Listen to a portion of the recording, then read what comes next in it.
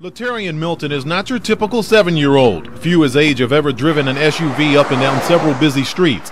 It all started at his mother's townhouse. Latarian says he took the car keys and hopped into his grandmother's Dodge Durango. When I came through the back door, I looked on the counter, my keys were gone. I took my grandma car because I got mad at my mom, and then I saw and had my friend come in, and he smokes with cigarettes. He started the vehicle and put it into gear. I, I yanked the, I yanked it, I yanked the um thing.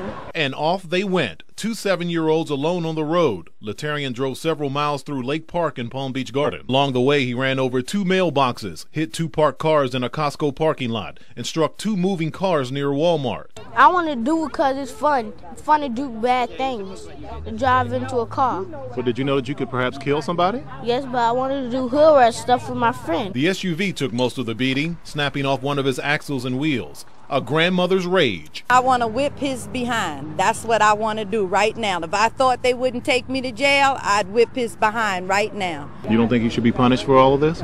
Just a little bit no video games for a whole weekend. You are you sorry?